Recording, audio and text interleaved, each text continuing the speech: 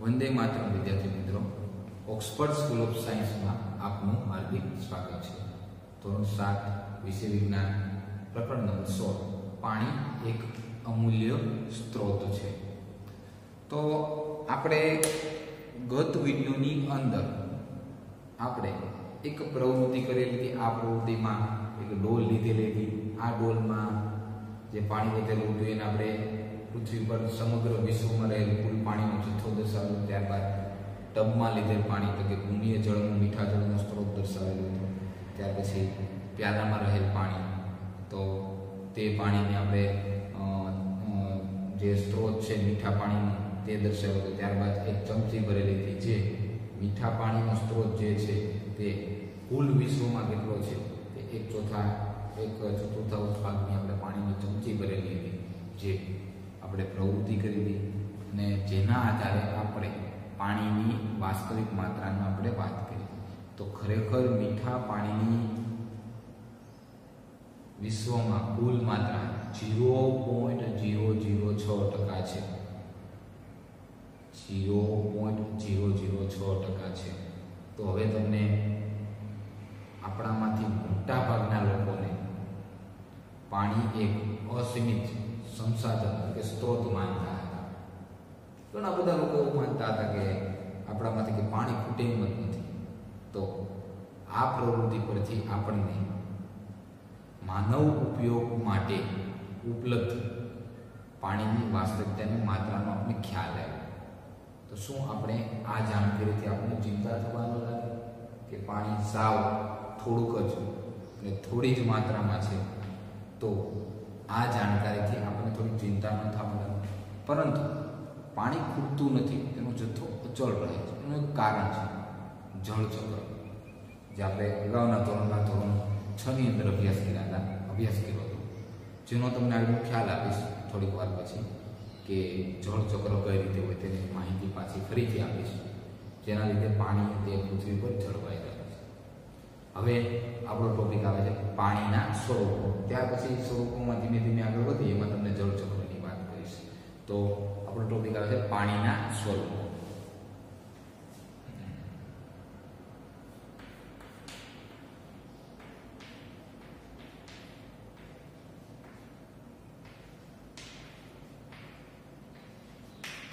પાણી જે છે એના સ્વરૂપો ક્યાં ક્યાં છે તો તેની આપણે વાત કરવાની છે શું તમને લાગે છે કે પાણીના કેટલા સ્વરૂપો એવો ખ્યાલ છે તમને? તો તમને ભય છે કે કોઈક સમયે ઉપયોગમાં લેવાતું પાણી સમાપ્ત થઈ જશે. આપણને એવો પણ ભય છે કે કોઈ સમયે ઉપયોગમાં લેવાતું પાણી છે એ પૂરું થઈ જશે. તો તો કે આપણે જાણીએ છીએ કે વિવિધ કુદરતી પ્રક્રિયાઓ દ્વારા પૃથ્વી પર પાણીની માત્રામાં ઘટાડો જે છે, ઘટાડો થઈ રહ્યો છે, તે વર્ષોથી જળવાઈ રહ્યો છે. પાણીની માત્રાનો કરોડો વર્ષોથી તે જળવાઈ રહ્યો છે. તો એની પાછળની કુદરતી ઘટના હોય છે, જે હોય છે જલચક્ર. તો જલચક્રમાં કેવું તો તેની અંદર આપણે જોવા જઈએ તો સૌપ્રથમ તો કે સમુદ્રનું પાણી હોય છે. ત્યાર પછી સમુદ્રના પાણીનું બાષ્પીભવન થાય. ત્યારબાદ તેના વાદળ બને. અને વરસાદ આવે. અને એ પાણી ફરીથી પાછું નદીઓ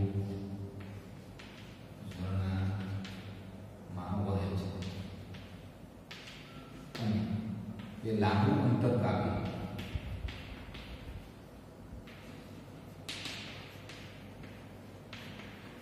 કાપી પાછું સમુદ્રમાં આવે છે જો અહીંથી આપણી આ પ્રક્રિયા થઈ છે બાષ્પીભવનથી વાદળથી વરસાદ આવે છે તે નદી અને ઝરણાઓ સુધી વહે છે લાંબુ અંતર કાપી નદીઓ અને સમુદ્રમાં પડે ફરીથી પાછી એ પ્રક્રિયા ચાલ્યા કરે છે એટલે આ પ્રક્રિયામાં સતત પુનરાવર્તન કર્યા કરે છે એટલા માટે પૃથ્વી પર પાણીનો જથ્થો જે છે તે જળવાય. કરોડો વર્ષોથી પાણીમાં ઘટાડો જે જોવા મળે છે, તે ઘટાડો ઓછો થાય છે. આ પ્રક્રિયા જે છે, તે સતત ને સતત ચાલ્યા કરે છે. આની અંદર શું હોય? તો કે નદીમાં રહેલું પાણી, કે સરોવરમાં રહેલું પાણી, કે કોઈ ખુલ્લી ટાંકીમાં રહેલું પાણી, આ દરેક પાણીનું સમુદ્રમાં રહેલું, મહાસાગરોમાં રહેલું પાણી. તો આપણે તો સમુદ્ર મહાસાગરોનું પાણી તો ખારું હોય. તો એ પાણીનું બાષ્પીભવન થાય ને, તો તેના ક્ષારો જે છે તે નીચે જ પીડાવે છે. એટલે આપણને મીઠું મળે છે. ખાડામાં આપણે દરિયાનું પાણી હોય, ભરી દઈએ. એને એમને રહેવા દઈએ. તો પાણીનું બાષ્પીભવન થઈ જાય. ક્ષારો સ્વરૂપે જે આપણને મીઠું મળે છે, એ એમને ખાડામાં પડ્યું રહે છે. તેની પ્રક્રિયા કરી અને શુદ્ધ મીઠું મેળવવામાં આવે છે. આ જળચક્રમાં નદીનું પાણી કે સરોવરનું પાણી કે સમુદ્રનું પાણી, દરેક પાણીનું બાષ્પીભવન થાય છે. સાથે સાથે પાણીની વાત થાય એની સાથે સાથે વૃક્ષો બાષ્પોત્સર્જન કરે છે. વૃક્ષો પણ મૂળ દ્વારા પાણીનું શોષણ કરે છે. અને વધારાનું પાણી, તેના પર્ણમાં રહેલા પર્ણરંધ્રો દ્વારા એક બકનળી રચે છે. આખા પુષ્પની અંદર સોરી પર્ણની અંદર. અને જે ફૂલ પ્રવાહથી પાણી વહે છે. અને જેટલું પાણીની જરૂર એટલો વનસ્પતિ ઉપયોગ કરે છે. વધારાનું પાણી જે છે. બાષ્પોત્સર્જન દ્વારા ગુમાવે છે. જે વાતાવરણમાં જાય હવે એનું બાષ્પીભવન થાય. બાષ્પીભવન થાય એટલે વરાળ જાય. વરાળ જે છે, તો કે વરાળ ગરમ હોય, તો તે ઉપર ચડે છે અને ઠંડી હવા તેની જગ્યાએ નીચે આવે છે. વરાળ ધીમે ધીમે ધીમે ધીમે ઉપર જતી રહી છે. અને એક સમયે તેનું સંઘનન થાય છે. સંકોચન થાય છે. અને તે ધીમા ધીમા પાણીના ટીપા બને, વાદળ બને છે. જે એટલા વજનમાં ભારે બને છે કે જે અમુક સમયે તે નીચે પડે છે. અને તે ધીમે ધીમે નીચે આવે છે અને જે આપણને વરસાદ સ્વરૂપે મળે છે. હવે એ વરસાદ જમીન ઉપર પડે, ખેતરોમાં પડે, રસ્તાઓ ઉપર પડે કે આપણા મકાનના છાપરા ઉપર પડે, એ વહીને નદી અને ઝરણામાં જાય છે. અને લાંબુ અંતર કાપે છે. અને અંતે તે પાછું સમુદ્રમાં મળે છે. એટલે આવી રીતે આ જળચક્ર જે છે, તે જળચક્ર જે છે, તે આ જળચક્ર ચાલ્યા કરે છે. આ જળચક્ર જે છે, તે સતત ચાલ્યા જ કરે છે. અને આ જળચક્રના કારણે પૃથ્વી પર પાણીની માત્રા જે છે, તે પાણીની માત્રા છે પર આ પાણીની માત્રા જળવાઈ હવે આપણે આ વસ્તુ જળચક્ર છે તે અગાઉના ધોરણમાં, ધોરણ છ માં જળચક્ર વિશે આપણે સમજી ગયા હતા વધારે. તો છતાં તમે એની માહિતીને આપી દીધી. આપણે જાણીએ છીએ કે જળચક્ર દ્વારા પરિવહન પામતું પાણી ત્રણ સ્વરૂપે જોવા મળે છે. કેટલા? એટલે જળ ચક્ર દ્વારા પરિવહન પામતું પાણી આપણને ત્રણ સ્વરૂપે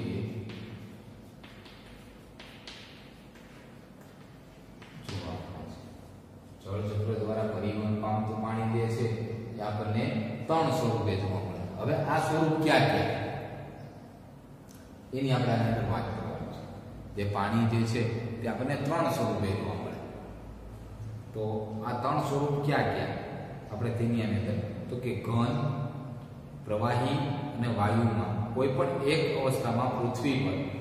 આપણે એમ પૃથ્વી પર, એટલે કે પૃથ્વી પર આ પાણી જે છે, ઘન, પ્રવાહી અને વાયુ. કોઈ પણ ત્રણ અવસ્થામાં પૃથ્વી પર ક્યાંક ને ક્યાંક આપણને જોવા જ મળે છે. કે ઘન, પ્રવાહી અને આ ત્રણ અવસ્થામાં પાણી આપણને પૃથ્વી પર ક્યાંક ને ક્યાંક જોવા જ હવે, ઘન સ્વરૂપમાં પાણી બરફ સ્વરૂપે ધૂ પર, ધુઓ પર બરફથી ઢંકાયેલા પર્વતો અને હિમનદીઓ જોવા મળે છે. ઘન સ્વરૂપે પાણી.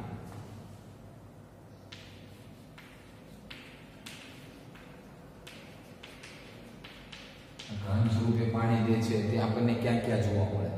તો બરફ સ્વરૂપે ઘન સ્વરૂપે પાણી જે છે તે બરફ સ્વરૂપે બરફથી ઢંકાય.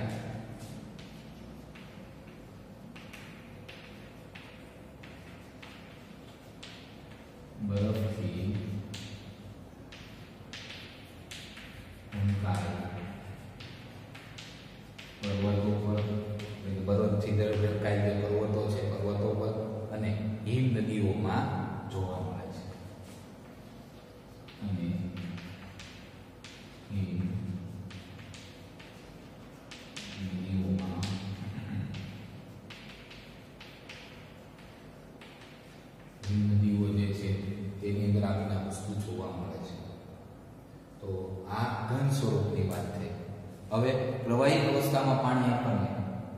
જે પ્રવાહી અવસ્થા હોય છે. આ ફરીથી આપણે વાત તો જળ ચક્ર તમને ખ્યાલ છે. ત્યાર પછી જળ ચક્ર દ્વારા પરિવહનમાં પામતું પાણી આપણને ત્રણ સ્વરૂપે જોવા મળે. ઘન, પ્રવાહી, વાયુ જે પૃથ્વીના ઉપર ક્યાંક ને ક્યાંક એક અવસ્થામાં તો આપણને જોવા મળે. ઘન સ્વરૂપે જોવા મળતું પાણી, ધ્રુવીય એટલે કે ધ્રુવો પર, બરફથી ઢંકાય પર્વતો પર અને હિમ નદીઓમાં જોવા મળે છે. હવે આપણે પ્રવાહીની વાત કરીએ. આ કેની વાત થઈ તો કે ઘનની ત્યાર પછી પ્રવાહીની આપણે વાત કરીએ તો પ્રવાહીમાં આપણને કઈ રીતે જોવા મળે તે જોઈએ. તો કે પ્રવાહી પર એક સ્વરૂપ વાત કરીએ ઘન. બીજું તો કે પ્રવાહી. તો કે પ્રવાહી અવસ્થામાં પાણી.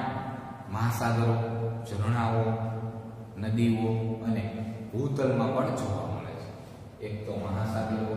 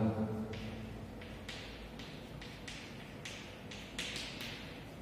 નદીઓ ત્યાર પછી ઝરણા અને ભૂતલમાં પણ પાણી જોવા મળે છે મહાસાગરો હોય કે નદીઓ હોય કે ઝરણા હોય અને ભૂતલમાં પણ આ પાણી જે છે તે આપણને પ્રવાહી સ્વરૂપે જોવા મળે છે. હવે, વાયુ અવસ્થામાં પાણી આપણી આસપાસ વાતાવરણમાં પાણીની વરાળ સ્વરૂપે જોવા મળે છે.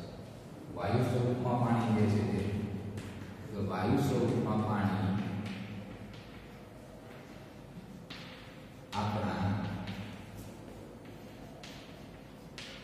વાતાવરણમાં આપણી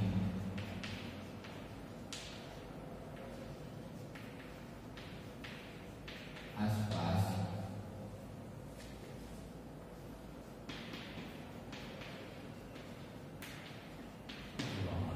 વાયુ સ્વરૂપ આ ઘન, પ્રવાહી અને વાયુની વાત કરી. કે વાયુ સ્વરૂપે આપણને કેમાં જોવા મળે? તો કે વરાળ આજુબાજુના વાતાવરણમાં વાયુ સ્વરૂપે આપણને વરાળ રૂપે જોવા મળે છે.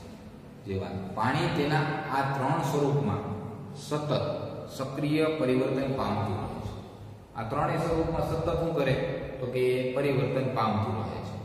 અને જેના દ્વારા પૃથ્વી પરના પાણીનો કુલ જથ્થો અચળ રહે છે. જેના દ્વારા શું થાય છે? કે જેના દ્વારા પૃથ્વી પર પાણીનો કુલ જથ્થો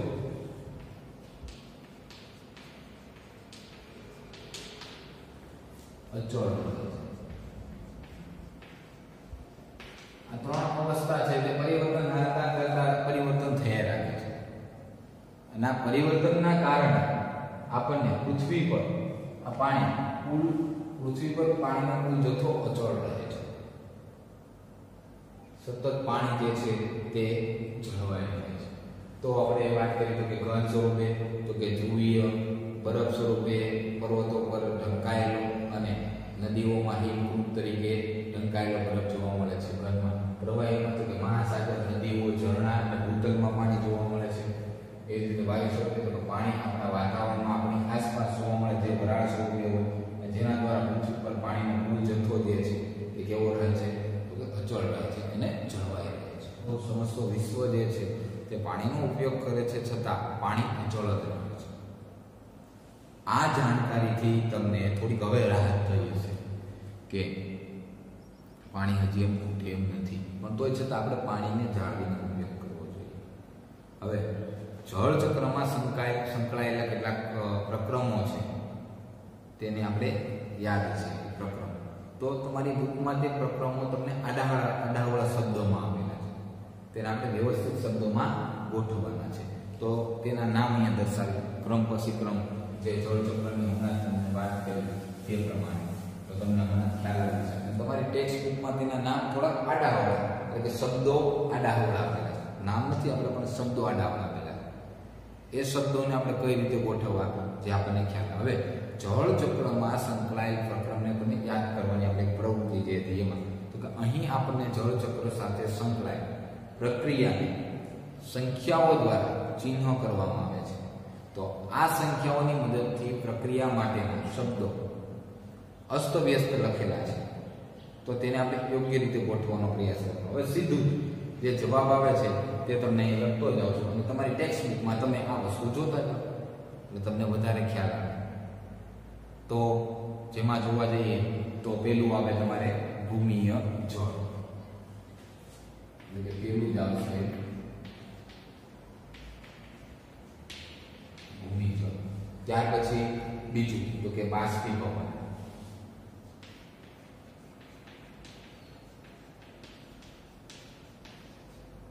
ત્યાર પછી ત્રીજું કેમ કે વરસાદ પડે તો તેનું અંતઃસ્ત્રવણ થાય તો તે ક્યાં જાય ભૂમિની અંદર નદી અને ઝરણામાં જાય ત્યાર પછી સંઘનન સંઘનન એટલે તે વરાળનું સંકોચન થાય અને પાણીનું ટીપું બને. ત્યાર પછી સંઘનન થાય એટલે વાદળ બને ત્યાર પછી તો કે ઉસ્વેદન. તો આ ઉસ્વેદન એટલે શું? તો કે બાષ્પોત્સર્જન ઉસ્વેદન. ઉસ્વેદન એટલે કે બાષ્પોત્સર્જન જે વનસ્પતિ દ્વારા બાષ્પોત્સર્જન થાય છે, તેની આપણે અગાઉ વાત થઈ.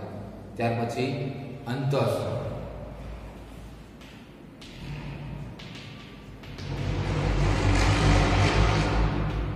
યાદ નથી છે. તો કે અવક્ષેપણ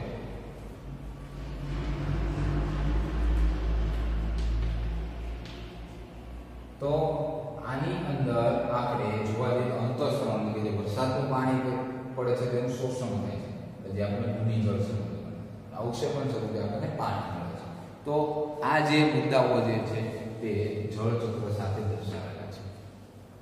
અને તમારી બુકમાં તમને આડાવાળા શબ્દોમાં આપેલા છે. મોટા ભાગના શહેરો અને નગરોમાં પોતાની જળ પ્રાપ્તિની વ્યવસ્થા હોય છે.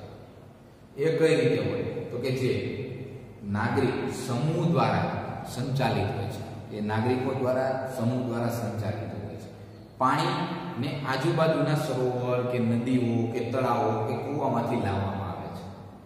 અને જરૂરી જગ્યાએ પાણીની પૂર્તિ પાઇપ દ્વારા કરવામાં આવે. આ બધી જગ્યાએ નદી હોય, સરોવર હોય કે ઝરણા હોય કે તળાવ હોય, ત્યાં પાઇપો દ્વારા પોતાની ઘરે પહોંચાડવામાં આવે છે. સામાન્ય રીતે ગામડામાં પાણીની પૂર્તિ આવી રીતે થતી નથી. ત્યાંના લોકો પોતાના ઉપયોગ માટે પાણીને સીધા સ્ત્રોતમાંથી ભરે છે. ઉદાહરણ તરીકે નદી હોય કૂવો હોય, કોઈ ડંકી હોય, તો ગામમાં દૂર હોય, તો ત્યાં ભરે છે અને સીધું ઘરે લઈ જાય છે. તો આના કારણે મહિલાઓને ખૂબ જ સમય બગડે છે. અને લાંબુ અંતર કાપીને પાણી ઉપલબ્ધ નથી. આપણામાંથી મોટા ભાગના લોકો પાણીને એક અસીમિત સંસાધન એટલે કે સ્ત્રોત માનતા હતા. આ પ્રવૃત્તિ પરથી તમને માનવ વપરાશ માટે ઉપલબ્ધ પાણીની વાસ્તવિક માત્રાનો ખ્યાલ આવ્યો હશે. શું તમને આ જાણકારીથી ચિંતા થવા લાગી છે? આના વિષયમાં તમારા વર્ગમાં ચર્ચા કરો. બુજો એ જાણીને ચકરાઈ ગયો છે કે આપણા માટે ઉપયોગમાં લેવાલાયક પાણીની માત્રા ખૂબ જ ઓછી છે. પહેલીએ ગણતરી કરીને જણાવ્યું કે મીઠા જળની માત્રા પૃથ્વી પર પ્રાપ્ય પાણીની કુલ માત્રાના શૂન્ય પોઈન્ટ શૂન્ય શૂન્ય છ ટકા છે. પાણીના સ્વરૂપો ફોર્મ્સ ઓફ વોટર શું તમને ભય છે કે કોઈક સમયે ઉપયોગમાં લેવાતું બધું પાણી સમાપ્ત થઈ જશે? તમે જાણો છો કે વિવિધ કુદરતી પ્રક્રિયાઓ દ્વારા પૃથ્વી પર પાણીની માત્રા કરોડો વર્ષોથી જળવાઈ રહી છે? આ બધી પ્રક્રિયા જળચક્રનું નિર્માણ કરે છે. તમે ધોરણ છ માં જળચક્રના વિષયમાં અભ્યાસ કર્યો છે. તમારા પોતાના વિચારોને લખો કે તમે જળચક્ર વિશે શું જાણો છો? તમે જાણો છો કે જળચક્ર દ્વારા પરિવહન પામતું પાણી ત્રણ સ્વરૂપો જેવા કે ઘન, પ્રવાહી અને વાયુમાંથી કોઈ પણ એક સ્વરૂપમાં પૃથ્વી પર ક્યાંક જોવા મળે છે. ઘન સ્વરૂપમાં પાણી બરફ સ્વરૂપે ધ્રુવો પર, બરફથી ઢંકાયેલા પર્વતો અને હિમ નદીઓમાં જોવા મળે છે. પ્રવાહી સ્વરૂપમાં પાણી મહાસાગરો, ઝરણાઓ, નદીઓ અને ભૂતલમાં પણ જોવા મળે છે. વાયુ સ્વરૂપમાં પાણી આપણી આસપાસ વાતાવરણમાં પાણીની વરાળ સ્વરૂપે હોય છે. પાણી તેના આ ત્રણ સ્વરૂપમાં સતત ચક્રીય પરિવર્તન પામતું રહે છે, જેના દ્વારા પૃથ્વી પરના પાણીનો કુલ જથ્થો અચળ રહે છે. સમસ્ત વિશ્વ પાણીનો ઉપયોગ કરે છે, છતાં પણ પાણી અચળ રહે છે. શું આ જાણકારીથી તમને કોઈ રાહત અનુભવાય શું તમને જળચક્રમાં સંકળાયેલ પ્રક્રિયા યાદ છે? નીચેની પ્રવૃત્તિ તમને તેમાં સહાય કરશે. મોટાભાગના શહેરો અને નગરોમાં પોતાની જળ પ્રાપ્યતાની વ્યવસ્થા હોય છે, જે નાગરિક સમૂહો દ્વારા સંચાલિત હોય છે. પાણીને આજુબાજુના સરોવર, નદીઓ, તળાવો અથવા કૂવાઓમાંથી લાવવામાં આવે છે. જરૂરી જગ્યાએ પાણીની પૂર્તિ પાઇપ દ્વારા કરવામાં આવે છે. સામાન્ય રીતે ગામડામાં પાણીની પૂર્તિ આવી રીતે નથી થતી. ત્યાં લોકો પોતાના ઉપયોગ માટે પાણીને સીધા સ્ત્રોતો પરથી જ પ્રાપ્ત કરે છે. મુખ્યત્વે મહિલાઓ અને બાળકોને પાણી મેળવવા માટે તેના સ્ત્રોત સુધી કેટલા કિલોમીટર દૂર સુધી ચાલીને જવું પડે છે. બાળકો માટે આ ખૂબ જ પીડાદાયક છે. આવા બાળકો નિયમિત રીતે શાળામાં જઈ શકતા નથી, કારણ કે તેઓને સ્ત્રોત પરથી પાણી લાવવામાં ખૂબ જ સમય નીકળી જાય છે. મહિલાઓને અનેક ઘરેલું કાર્ય કરવા પડે છે. જો તેઓને પાણી પણ ભરીને લાવવું પડે, તો તેઓના કામનો ભાર વધારે વધી જાય છે. આપણી જનસંખ્યાનો એક મોટો ભાગ પોતાના ઉપયોગ માટે પાણી, કૂવાઓ, બોર, હેન્ડપંપ વગેરેમાંથી પ્રાપ્ત કરે છે. આ સ્ત્રોતોને પાણી ક્યાંથી પ્રાપ્ત થાય છે? આકૃતિ સોળ પોઈન્ટ પાંચમાં જળચક્ર સાથે સંકળાયેલ પ્રક્રિયાને સંખ્યાઓ દ્વારા ચિહ્નિત કરવામાં આવેલા છે. આ સંખ્યાની મદદથી પ્રક્રિયા માટેના શબ્દો અસ્તવ્યસ્ત લખેલા છે. તેને સાચો જવાબ પસંદ કરી યોગ્ય જગ્યાએ ડ્રેગ એન્ડ ડ્રોપ કરો.